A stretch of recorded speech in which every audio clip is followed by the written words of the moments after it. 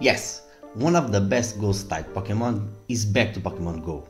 I'm talking about Mega Banette and in this video we will dive deep into the strategies, tips and best teams composition to beat Mega Banette in raids. Mega Banette will be in 4th year Mega Raids boss from October 28 until November 4. You only have 8 days to catch this Mega Ghost Pokemon.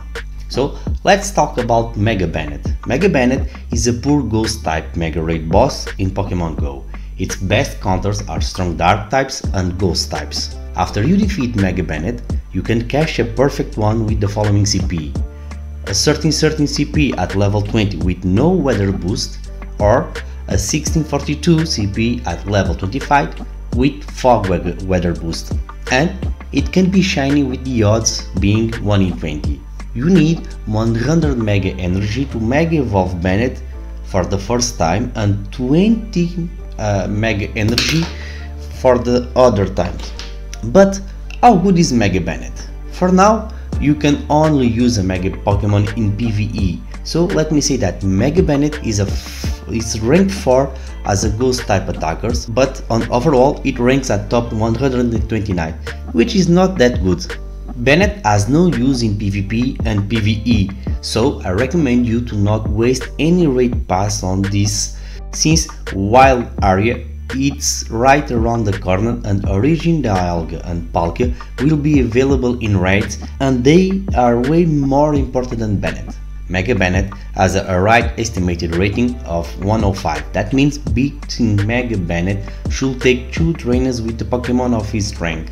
Mega Banette can be soloed with great dark counters if does not have Dazzling Gleam. Shadow and Mega Tyranitar or Hydreigon can be your best friends to this solo. With that in mind, let's explore the best counters, including Mega Pokemon, Shadow Pokemon and general options. So, the best Mega counters are Mega Tyranitar, Mega Houndoom, Mega Rayquaza, Mega Gengar and Mega Gyarados. Moving into the best Shadow counters, Shadow Tyranitar, Shadow Houndoom, Shadow Weavile, Shadow Salamence, Shadow Raikou and Shadow Gengar. And finally, the best general options are Tyranitar, Dawn Wings Necrozma, Giratina Origin, Darkrai, Duskmane Necrozma and Incineroar. And there you have it, trainers.